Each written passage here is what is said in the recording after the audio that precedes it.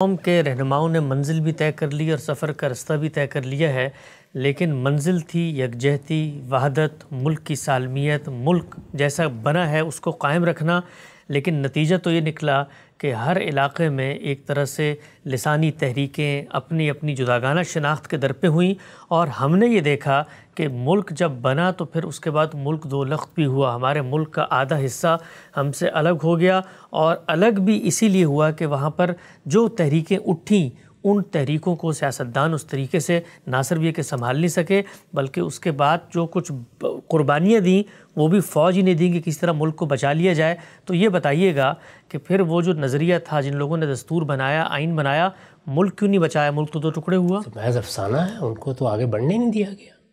यानी उनके पास था नज़म हुकूमत, जब मुल्क दो लख्त हुआ है। उनके ज़माने में तो ऐसी कोई चीज़ नहीं हुई। वो तो पूरे मुल्क को साथ लेके चल रहे थे। जब उन्होंने एक दस्तूर बना दिया और करारदाद मकासद भी मंजूर कर ली तो इसका मतलब यह है कि मंजिल भी तय हो गई, रास्ता भी तय हो गया। अब दस्तूर के मुताबिक मामला होने चाहिए थे। इस दस्तूर को सियासतदानों ने तो ख़त्म नहीं किया। इस दस्तूर को किन लोगों ने तोड़ा? सन अठावन में कौन थे जो बयानियाँ लेकर सामने आए? फिर किन की हुकूमत में वो हालात पैदा हुए कि जिसमें इलाकाई मुनाफरतें, सियासी इख्तलाफात, नज़ात से आगे बढ़कर दुश्मनी में बदल गए। कौन लोग थे वो? यही लोग थे जो बयानियाँ पेश फरमा रहे हैं। ये मुल्क तो लख्त, इसी फ़ौज की क्यादत पे हुआ है, इसी की रहनुमाई में हुआ है, इसी के इकदाम के नतीजे में हुआ है। जब सन अठावन में दस्तूर को ख़त्म कर दिया गया तो इसका मतलब क्या था? इसका मतलब ये था कि इस कौम की वहदत के लिए जो मिसाक वजूद में आया था, उसको पारा पारा कर दिया गया। सियासतदानों ने जो रास्ता मुतन किया था, उस रास्ते ही को कबूल नहीं किया गया। जो मंजिल उन्होंने तय की थी, उस मंजिल ही से रुगरदानी कर ली गई। तो मामला तो उनके हाथ में नहीं रहे। या तो ये होता कि सियासतदान इस मुल्क को चलाने में इस तरह नाकाम हो जाते कि मुल्क लख्त लख्त होना शुरू हो जाता। सूबे बगावत कर देते, बड़े पैमाने पर बदमनी फैल जाती दस्तूर जिस तरीके से बनाया गया था, उस दस्तूर को कोई कबूल करने के लिए तैयार ना होता। उधर भी बगावतें हो रही होती, इधर भी बगावतें हो रही होती, और अनारकी पैदा हो जाती, और फिर कोई फ़ौज या कोई बंदूक वाला ये इकदाम करता तो फिर मैं अर्ज़ करता हूँ कि कोई अखलाकी जवाज़ होता। इसलिए कि ये बात उसूल में समझ लीजिए कि अल्लाह ताला ने जो नज़म हकूमत कायम होता है इससे मतलब अपना उसूल वही बयान किया है कि अमर हम शूरा बैना यानी ये लोग हैं जो फ़ैसला करेंगे कि उनकी हुकूमत क्या होनी चाहिए और किसके हाथ में होनी चाहिए। लोग फ़ैसला करेंगे। दुनिया का तजर्बा भी यही बताता है कि इल्म अक़ल की रूह से यही बात दुरुस्त है। दूसरा मामला क्या है? वो ये कि अल्लाह ताला फ़ैसला कर दे। वो खालिक है। हमारा रब है। इस कायनात का बादशाह है। वो कोई फ़ैसला कर दे तो उसके फ़ैसले के सामने तो किसी के लिए चूरो चरा की गुंजाइश नहीं है। लेकिन अगर ये दोनों चीज़ें नामुमकिन हो जाएँ, दो पहलुओं से नामुमकिन होती हैं। एक ये कि ऐसा सख्त अनारकी का माहौल पैदा हो जाए कि लोगों की जान माल आबरू को ख़तरात लायक हो जाए। इसमें कोई खुदा का बंदा उठे और वो उठकर बेशक एक जथाई सामने लेकर आए और आकर अमन कायम कर दे। याद कीजिए, मैं हमेशा से बहुत सी चीज़ों पर तनकीद करता रहा हूँ लेकिन जिस वक्त अफ़गानिस्तान में एक बड़ी शदीद बदमनी कैफियत थी, वो लोग जो रूस के ख़िलाफ़ लड़ने के लिए निकले थे, ख़ुद उनके दरमियान तलवारें खिंच गईं। पूरे अफ़गानिस्तान में ऐसी सूरत हाल पैदा हो गई कि कोई अमन की सूरत बाहर नज़र नहीं आती थी। उसमें तालिबान का एक गिरोह सामने आया और उसने अमन कायम कर दिया। तो उस मौके पर तनकीद की वो शिद्दत नहीं रही चलिए जी, एक बदमनी की सूरत हाल थी, अनारकी की सूरत हाल थी। अनारकी की सूरत हाल के मुकाबिल में मलूकियत को भी कबूल किया जाता है। और इसी तरीके से इस तरह के किसी इकदाम को भी कबूल किया जा सकता है। लेकिन ऐसी कोई सूरत हाल सन अठावन में नहीं थी। यानी एक सियासी निज़ाम चल रहा है, उस सियासी निज़ाम में इख्तलाफात हो सकते हैं। उसमें ऐसे बाज़ मौक़े भी आ सकते हैं कि जिसमें सियासतदानों के दरमियान नज़ात ज़रा ज़्यादा शदीद हो जाए। लेकिन जो चीज़ें आपने बयान फरमाई हैं, उनमें से ज़रा मुझे बताइए कौन सी चीज़ उस वक्त सामने आ गई थी? मुल्क चल रहा था। मशरक़ी पाकिस्तान के सियासतदान वो यहाँ पे हुकूमत में शामिल थे, नज़म चला रहे थे। ख्वाजा नाजमुद्दीन कौन थे? सोरवर्दी कौन थे? यानी बड़े बड़े सियासतदान उधर से भी, इधर से भी मिल के इस मुल्क को चला रहे थे।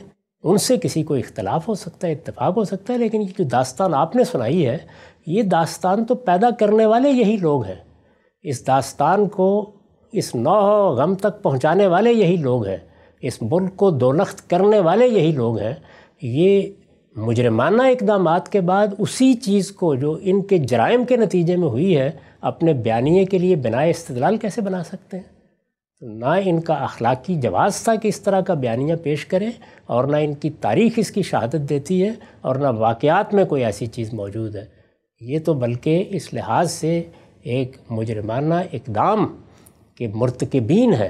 कि जब मुल्क में सियासी इतफ़ाक़ हो गया, जब एक दस्तूर बन गया, जब करारदाद मकासद मंजूर हो गई, उसके बाद सन अठावन में ये अहमकाना इकदाम किया गया, जिसमें एक बयानिया भी कौम के जहनों में उतारने की सही की गई। इस बयानिया की इब्तदा वहीं से होती है।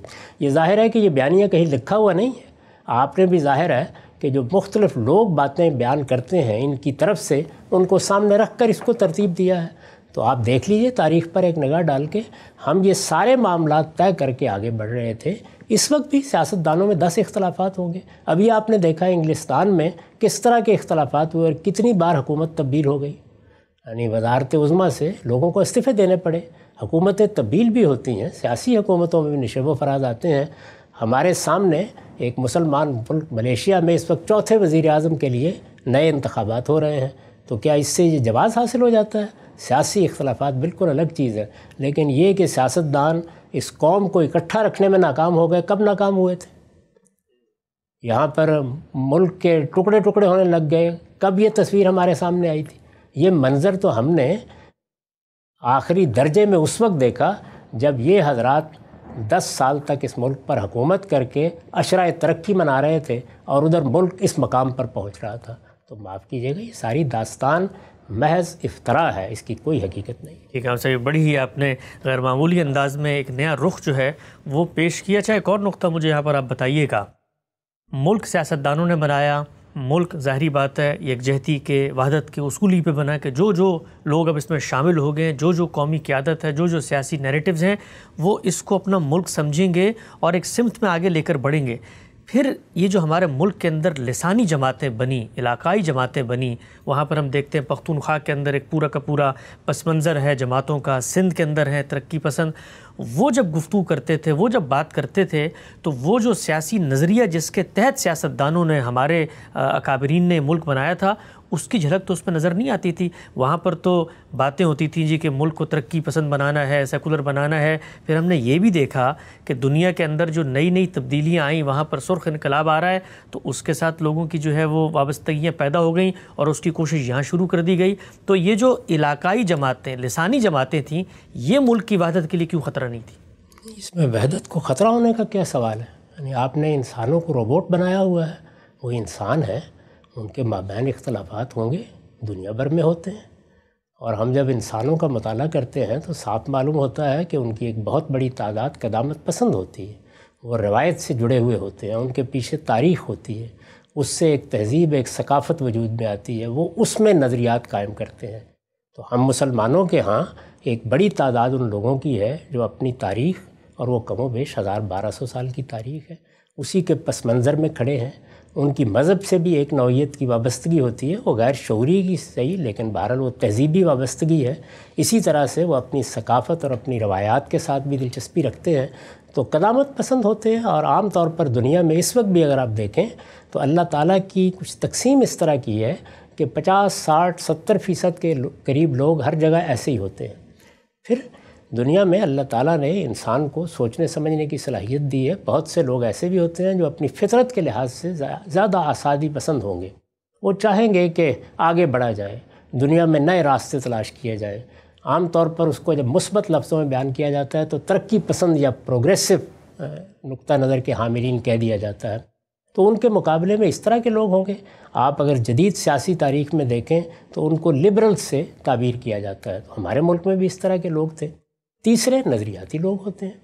और हमारे मुल्क में ये कोई 25-30 फ़ीसद से ज़्यादा नहीं रहे। अब शायद कुछ तादाद ज़्यादा हो गई हो, लेकिन इस वक्त भी 38-40 फ़ीसद से ज़्यादा नहीं है। इसी तरीके से एक तादाद नज़रियाती लोगों की होती है।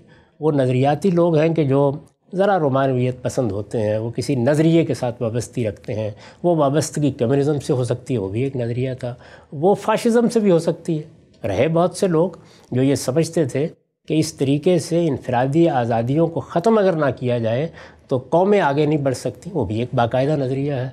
वो वाबस्तगी किसी शख्स को किसी मज़हब से, इस्लाम से हो सकती है, मसीहियत से हो सकती है। तो इस तरीके से ये दुनिया इसी उसूल पर बनी है। इसमें ये इख्तलाफात रहेंगे, ये तनवो रहेगा। हमारे मुल्क में भी था। तो उसमें आज भी अगर आप देखें तो साठ सत्तर फ़ीसद लोग कदामत पसंद हैं। तो इसलिए यहाँ कदामत पसंदों की जमातें भी वजूद में आएँगी। जैसे ही आप आज़ादी देंगे, इसी तरह लिबरल डेमोक्रेट किस्म की जमातें भी वजूद में आएँगी। दुनिया भर में इसी तरीके से होता है।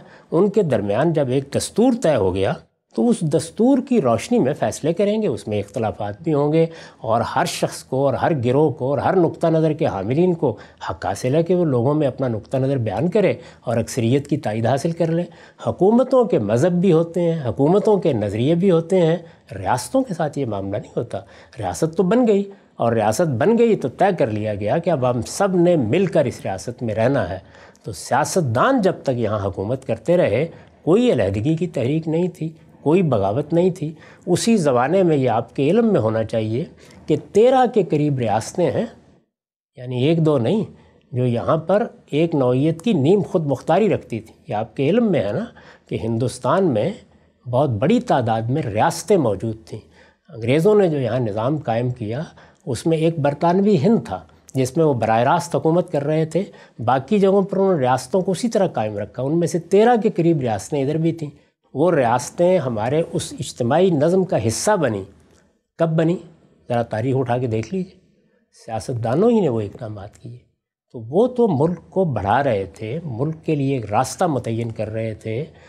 इस पर मैं बहस करके बता सकता हूँ कि रियासतों के इस तरह के इदगाम के बारे में मेरा नुक़ नज़र क्या है। ये होना चाहिए था, नहीं होना चाहिए था। लेकिन ये जो मुकदमा आपने बयान फरमाया है, उसके तो बिल्कुल बरखिलाफ़ वो सारे इकदाम कर रहे थे। तो उसमें वो कौन सा मौका था कि जिसमें उन्होंने मुल्क को दो लख्त कर दिया?